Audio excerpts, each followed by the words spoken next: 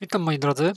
W dzisiejszym filmiku będzie nakładanie pasty y, tej GD900, którą kupiłem na, na AliExpressie i powiem Wam już na samym wstępie, że y, pod tym filmikiem będę ak- tak co tydzień dodawał y, status, jakie są temperatury i przynajmniej tak myślę, żeby dodawać te temperatury przez minimum dwa miesiące, żeby zobaczyć jak wygląda mniej więcej rozkład tych temperatur na tej paście, ale powiem Wam, że pierwsze wrażenie było bardzo pozytywne. Dobra, tutaj sobie nakręciłem wcześniej filmik Lumią 930, także ja będę Wam pokazywał ten filmik i mniej więcej mówił co i jak było. Także zaczynamy sobie z tym filmikiem. Oczywiście na początku będzie rozkręcenie śrubeczek od obudowy, żeby się dostać do płyty głównej. No ale może sobie to przewińmy troszeczkę dalej i będę tak pokazywał Wam mniej więcej o co chodzi. Tutaj jak widzicie już kosteczką sobie podważam tą obudowę. Wyciągnąłem oczywiście kabel antenowy od Wi-Fi. Obudowa zdjęta. I tak wygląda wnętrze Samsunga NP550 którego kupiłem kiedyś na Olixie za 250 zł. On ma w środku i piątkę, także powiem Wam, że nawet mi się fuksło. A uszkodzone miał tutaj właśnie mocowanie od zawiasów, matrycy. I to tyle. Cały laptop, reszta sprawna. Tutaj chcę Wam coś pokazać chyba zaraz. Aha, Dobra, tu mamy. O, zobaczymy sobie jeszcze kartę Wi-Fi, jaką mam włożoną do tego Samsunga. Tutaj mniej więcej pokazałem co i jak. Powiem Wam, że jakość z tej Lumi 930, jeżeli chodzi o kręcenie filmów, jest naprawdę bardzo dobra. Bardzo dobrą kamerę ma ten telefon. Oczywiście kręci w 4K po aktualizacji do Windowsa 10, to już tak mówię na marginesie, jako ciekawostkę. Ale jest to bardzo, bardzo dobry telefon według mnie. Chociaż szkoda, że zaniedbany system przez Microsofta. No ale cóż, Android zmiażdżył wszystkich. Ok, teraz sobie tutaj wykręcam śrubeczki, żeby dostać się do środka. Żeby wyjąć płytę, znaczy się. No i Mamy wyciągniętą płytę od Samsunga 550 modelu. Mostek północny.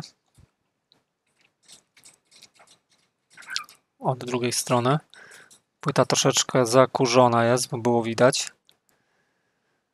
No i wyobraźcie sobie, co ja naniosłem, jak nie miałem pasty na rdzeń karty graficznej i CPU. Tak, wiem, że to był, to jest błąd jednak jednak się nie powinno nos, nanosić takich wynalazków, kombinowania i tak dalej. Jak się zobaczyło film, że można nakładać nawet pastę do zębów, ale naniosłem tawot maszynowy. No i ten tawot chyba jednak nie jest do końca takim dobrym rozwiązaniem, bo temperatury były naprawdę wysokie w tym laptopie, jak podłączyłem go pod zasilanie oczywiście i obciążałem go jakimiś programami typu nagrywanie streamów i tak dalej. Wtedy potrafił bardzo głośno chodzić. Tutaj czyszczę pędzelkiem sobie obudowę, żeby czyścić ją już z kurzu, ale zaraz Wam pokażę coś fajnego, bo chyba tutaj wyciągnę głośniczki. Tak, to jest fajny temacik. Ten laptop posiada dwa głośniki stereo jeden głośnik subwoofer który jest y, umocowany w dolnej części obudowy. I powiem Wam, że naprawdę głośno ten laptop potrafi zagrać, porównując go oczywiście do innych laptopów, ale zobaczycie, jakie tutaj było zabrudzone, jaki był zabrudzony ten głośnik. Jeden i drugi oczywiście. Przez tyle podejrzewam lat się nie czyściło go, a to od góry jednak ta siateczka przepuszcza brud i tak dalej. Także Zobaczcie sobie, jaki on jest ufajdany. I zaraz będę go czyścił. Może tego nie będę przewijał, bo to może się wydać bardziej ciekawe. Oczywiście pędzelkiem za bardzo nic nie dało. Wyczyszczenie, bo ten brud trzeba było ściągnąć pałeczką do uszu taką. I zaraz chyba gdzieś w tą pałeczkę wezmę i powiem wam, że głośniczki wyglądają jak nowe. Coś mi zresztą jeden głośnik jakoś harczał dziwnie, jak puszczałem sobie głośniej yy, filmiki z YouTube'a. Tylko nie wiem dokładnie który, czy te, te dwa od stereo, któryś z nich, czy głośnik sub, od subwoofera. No i tutaj pałeczką oczywiście izopropanol, membranki wyczyściłem elegancko. Głośniki jak nówki. Po drugiej stronie sytuacja podobna, tym, z tym, że ten głośnik był jeszcze bardziej yy, brudny niż ten po prawej stronie. Masakra. I fajne jest mocowanie tych głośników na takich dwóch gumkach, które po prostu jakby mają za zadanie nie przenosić drgań tej membrany, która się rusza w tym głośniczku na całą budowę laptopa. No i powiem Wam, że Samsung, gdyby w tym laptopie y, popracował nad o wiele lepszymi tutaj zawiasami, to laptop byłby bardzo, bardzo fajny. Bo jeszcze dodam taką informację, że chciałem do niego sobie włożyć i siódemkę. Gdzieś tam kiedyś zobaczyłem na Olixie czy na Allegro za 300 chyba złoty. No i siódemka jakby już w nim siedziała, to już bym mógł powiedzieć, że taki laptop w miarę fajny do OBS-a nagrywania. Dla mnie oczywiście. I karta graficzna zintegrowana i dodatkowa GeForce'a, przepraszam, GeForce w tym laptopie siedzi GT650, także nic specjalnego, ale mi to wystarcza. I tak nie gram na gry na laptopie, tylko na konsoli. Dobra, głośniczki przeczyszczone. Teraz ja sobie zamontuję tam w obudowie. I teraz Wam pokażę głośnik w tym laptopie, jak wygląda subwoofer. Subwoofer właśnie wygląda w ten sposób, jest zamocowany na czterech też gumkach, które amortyzują jakby przenoszenie tych drgań od tego subwoofera. Bardzo fajne rozwiązanie. Nie wiem jakiej, a nie, to jest firmy JBL. JBL, czyli bardzo dobre głośniki robi ta firma. Powiem Wam, że miałem porównanie. W pracy mój kolega miał JBL-a, jakiś tam model, nie najlepszy. Jakiś taki, nie wiem, podejrzewam, że średni to był, ale na kur wiał tak, że głowa boli. I kiedyś porównywałem nawet jeszcze z taką mantą, głośnikiem manta, tragicznie wypada w porównaniu do JBL-a, po prostu tragicznie, zero basów, a JBL, no kiedyś sobie muszę taki gdzieś głośnik kupić, jak znajdę może jakiś uszkodzony do naprawienia, to by było super, żeby były tylko całe membrany. No to by było zarąbiście. No i tutaj już po wyczyszczeniu tego subwooferka mogę sobie włożyć cały ten głośnik z powrotem. Fajnie to wymyślił Samsung, nie powiem. Jeszcze tu jest nazwa McLaren 15 cali woofer. A jak jeszcze by były dwa tutaj takie? Albo jeden większy? No, no, to już naprawdę robiłby robotę.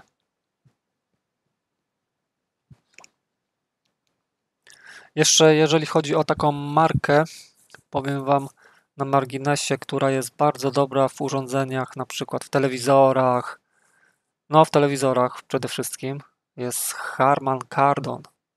Bardzo dobre głośniki mam, LG K4K z Harman Kardon i Miałem kiedyś Philipsa, to chowa się totalnie. I tutaj z ciekawości zmierzyłem sobie, jaką ma, ile ohmów ma ten głośnik. I byłem zaskoczony, bo ten subwoofer ma mało ohmów w porównaniu do takich nawet głośników, głośniczków od w telefonów.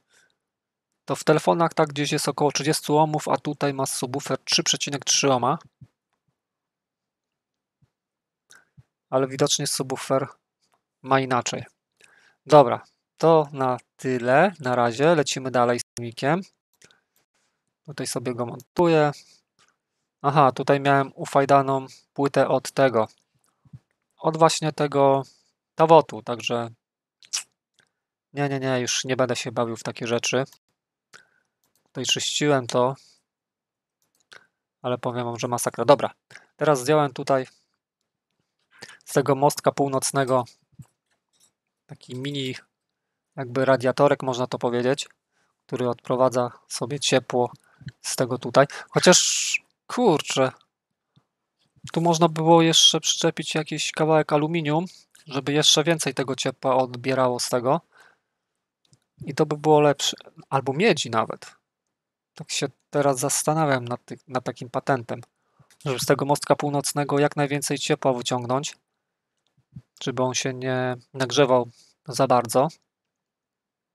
Być może kiedyś sobie pomyślę o takim czymś, jeżeli bym był w stanie gdzieś załatwić jakieś podkładki takie miedziane, cieniuteńkie bardzo.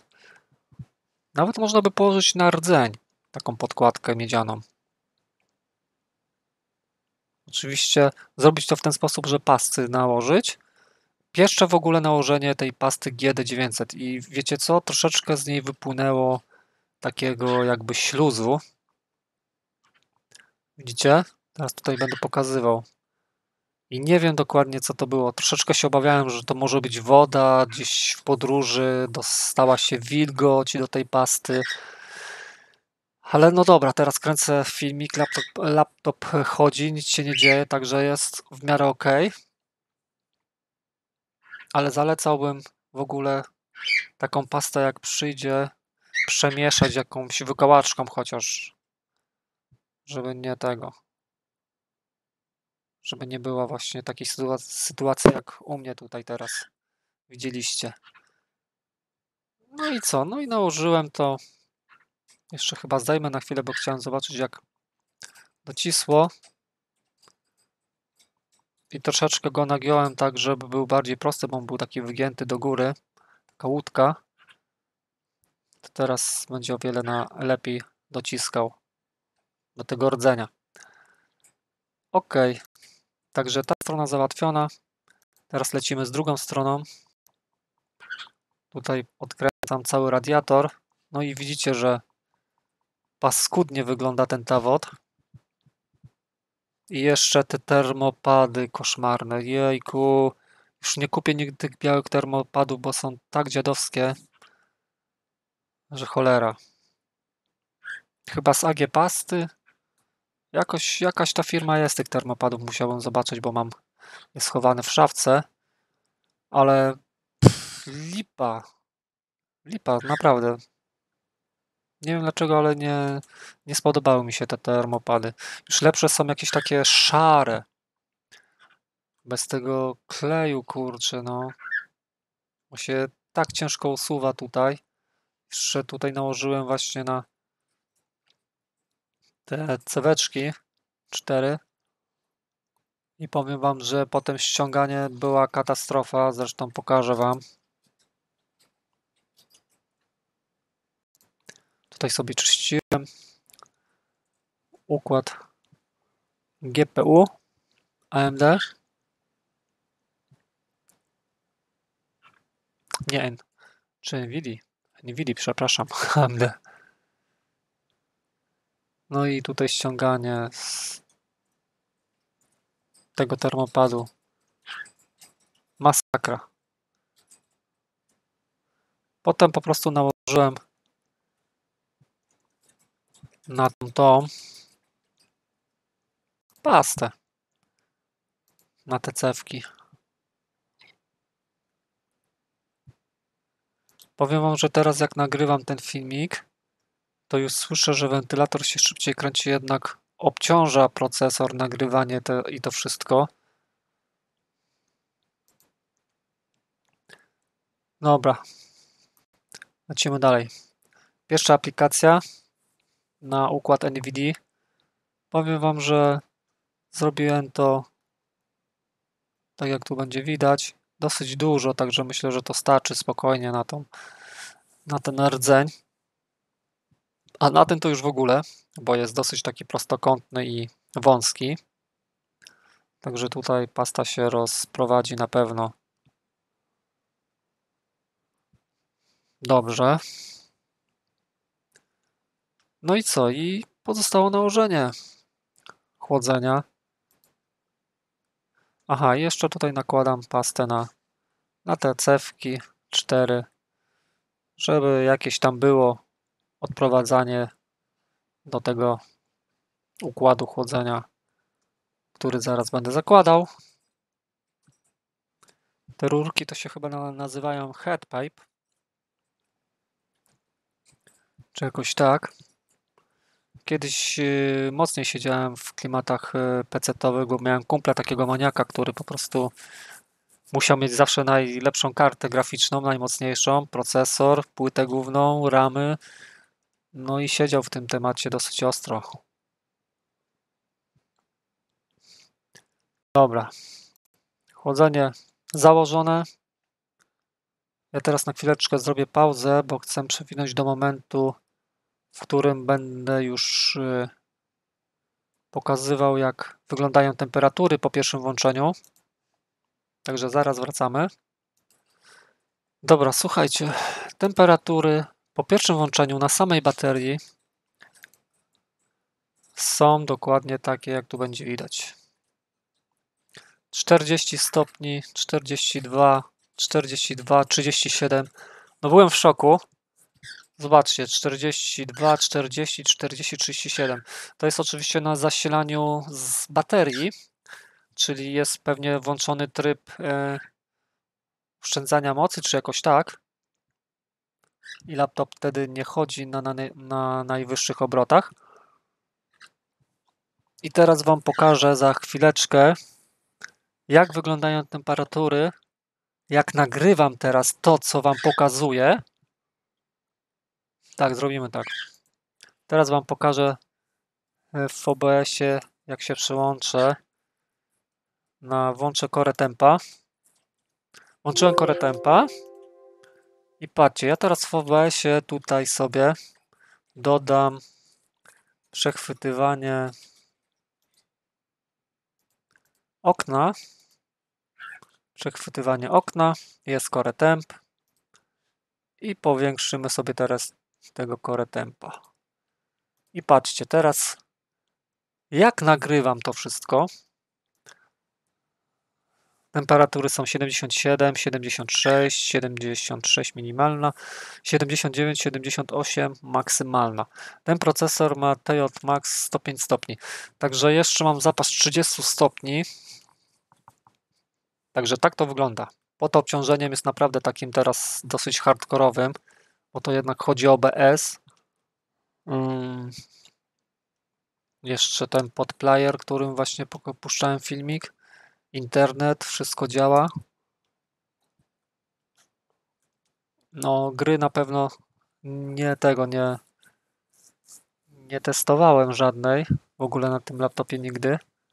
No ale temperatury są powiedzmy takie jak tu widać. Powiem wam, że chyba to jest taka norma, wiecie? 75 stopni. Mniej więcej. Na tych rdzeniach.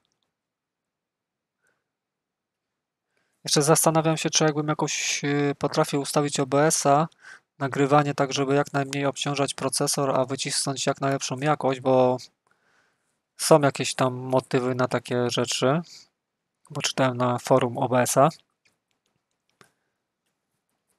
No ale tak wygląda pod obciążeniem. Procesor chodzi teraz 2,37 MHz, tak? Czy jakoś tak.